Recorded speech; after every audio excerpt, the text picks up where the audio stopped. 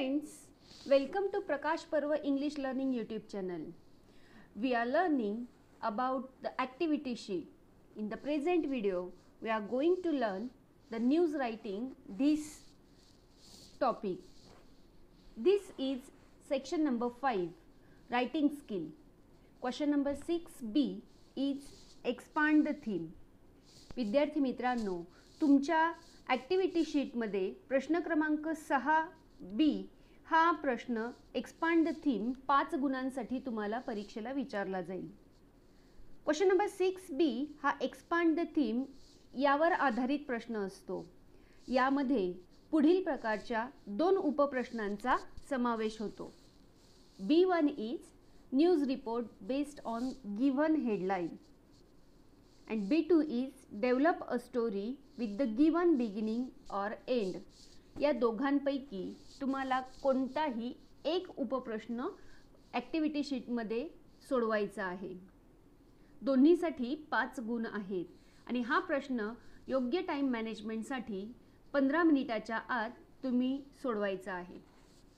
So let's start how to write news report या व्हिडिओमध्ये आपण न्यूज रिपोर्ट बघणार आहोत. First of all let see the marking marking scheme for news report marking scheme म्हणजे तुम्हाला अधिकाधिक गुण कसे आपल्याला न्यूज रिपोर्ट रायटिंगमध्ये मिळू शकतात हे आपण मार्किंग स्कीमच्या आधारे बघूया. The title and the beginning of the given news is for one mark जी तुम्हाला तुमच्या ॲक्टिव्हिटी शीटमध्ये दिलेली असते. Vocabulary and grammar you are using in your news report is for one mark. Use appropriate points body of the news. न्यूजचे काही मुख्य topics आहेत ते दोन गुणांसाठी आहेत.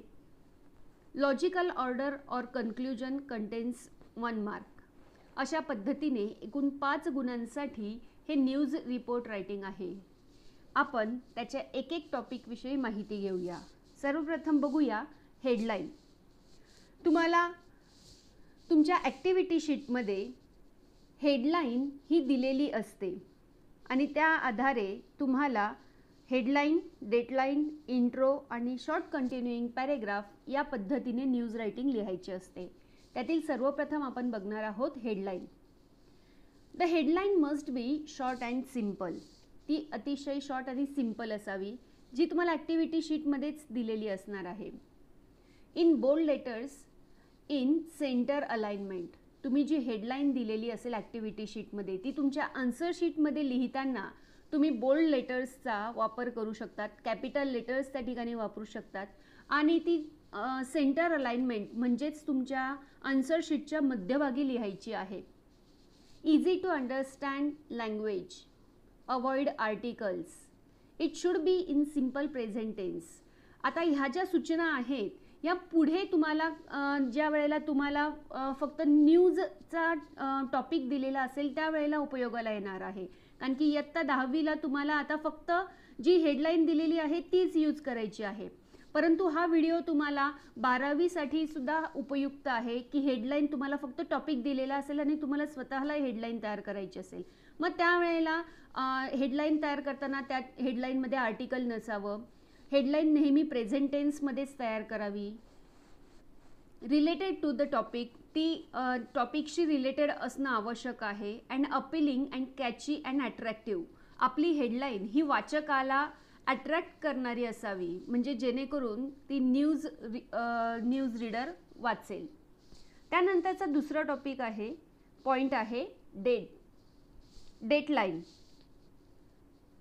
Write the date after leaving one line after the headline. तुम्ही centre अलाइनमेंटला headline लिहिल्यानंतर एक ओळ सोडून त्याखाली डेटलाईन लिहायची आहे. Write the date in left side of the page तुमच्या समासाला लागूनच त्या ठिकाणी डेट लिहिणं अपेक्षित आहे. या ठिकाणी काही दोन एक्झाम्पल दिलेले आहेत. You can write either seventeen May two thousand fourteen अशा पद्धतीने लिहू शकतात. किंवा पहिले महिना त्यानंतर तारीख आणि त्यानंतर वर्ष. May seventeen two thousand fourteen या पद्धतीने तुम्ही डेटलाईनमध्ये डेट लिहू शकतात. The next point is place write the name of the city exactly after the date डेटनंतर लगेच तुम्ही त्या सिटीचं नाव लिहायचं. Mention the actual name of the city if it is given in your activity sheet जर तुमच्या ॲक्टिव्हिटी शीटमध्ये जर प्लेसचं नाव दिलेलं असेल तर ते नाव लिहायचं आहे. यानंतरचा पॉईंट आहे इंट्रोडक्टरी पॅरेग्राफ यालाच लीड पॅरेग्राफ असं म्हणतात. या लीड पॅरेग्राफमध्ये कोणत्या कोणत्या बाबी असणं आवश्यक आहे? The introductory paragraph should be easy to understand तो आपल्याला वाचनाला अतिशय सोपा असला पाहिजे. म्हणजे वाचल्यानंतर ते लक्षात आली पाहिजे news it should cover the most important aspect of the event न्यूजपेपरमधील news वाचक हे वेगवेगळ्या प्रकारचे असतात. काही फक्त हेडलाईन वाचणारे असतात काही लीड पॅरेग्राफ वाचणारे असतात. तर काही जे वाचक आहेत ते पूर्ण न्यूज वाचणारे असतात.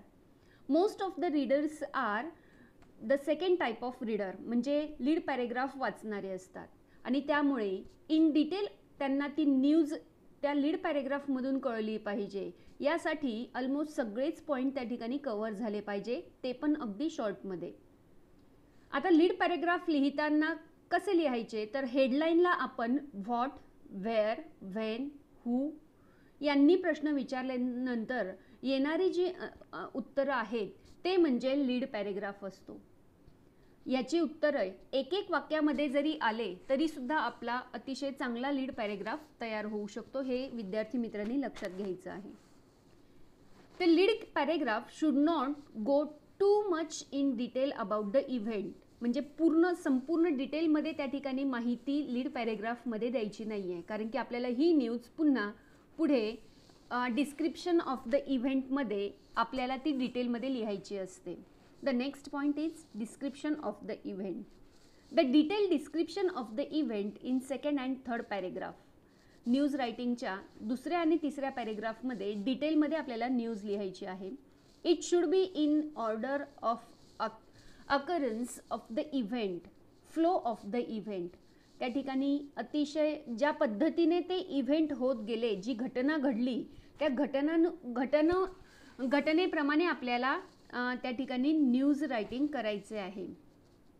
It should be in simple past tense नेहमी आपल्याला लक्षात ठेवायचं आहे ज्या वेळेला आपण डिटेलमध्ये न्यूज रायटिंग करतो त्यावेळेला सिंपल पास्ट टेन्सचा वापर करायचा. Should be in semi formal language formal semi formal लँग्वेजचा वापर त्या ठिकाणी औपचारिक भाषेचा वापर होणे आवश्यक आहे. Should answer the questions how who like this now let see format of news report तुम्हाला न्यूज रिपोर्ट लिहिताना खालील फॉर्मॅटमध्ये लिहायचा आहे जो आपण आधी डिटेलमध्ये डिस्कस केलेला आहे. The first point is the headline which is given in your activity sheet the second is the dateline which includes the name of the reporter city name month and date the next point is the lead paragraph in which we have to discuss about who, when, where, why, how, what these questions in short. And the next point is the main body of the news. The news, you have to write down the news in detail here in two paragraphs and proper conclusion of the news writing. Now let's see the tips for news report. News writing ज्या वेळेला कराल त्यावेळेला खालील मुद्दे लक्षात ठेवायचे आहेत जेणेकरून तुम्हाला चांगले गुण पाचपैकी या ॲक्टिव्हिटीमध्ये मिळू शकतात. Write the news in detail as per the points ज्या पॉईंट्सप्रमाणे आपल्याला दिलेली आहे त्याप्रमाणे आपण डिटेलमध्ये न्यूज लिहायची आहे. Use third person while writing the report ज्या वेळेला तिमा तुम्ही रिप न्यूज रिपोर्ट लिहाल त्यावेळेला थर्ड पर्सन म्हणून लिहावा. त्याकरिता आपण पॅसिव्ह व्हॉइस स्ट्रक्चरचा वापर करावायचा आहे. Don't write your own opinions या रायटिंग स्किलमध्ये आपल्याला स्वतःचं ओपिनियन देता येत नाही. न्यूज रिपोर्ट लिहिताना जे तुम्हाला घटक आहेत जी घटना घडलेली आहे ती जशीच्या तशी फक्त मांडायची आहे. यात आपण आपलं स्वतःचं मत नोंदवायचं नाही किंवा आपले स्वतःचे पॉईंट्स ॲड करायचे नाही. Use passive voice structure of the sentence and here is one example for all of you to write the news report तुम्हाला सूचना अशा प्रकारे दिलेली असेल. Read the following headline and prepare a news report with the help of given points ten year old boy saves a drowning girl अशा पद्धतीने तुम्हाला headline दिलेली असेल. त्यानंतर तुम्हाला डेटलाईन इंट्रो आणि शॉर्ट कंटिन्युईंग पॅरेग्राफ लिहून अशा पद्धतीने तुम्ही न्यूज रायटिंग करू शकतात या ठिकाणी एक प्रॅक्टिससाठी एक एक्झाम्पल देखील तुम्हाला दिलेलं आहे. याचा सरावासाठी तुम्ही उपयोग करू शकतात. Thank you all of you and I wish you all the best for your exam.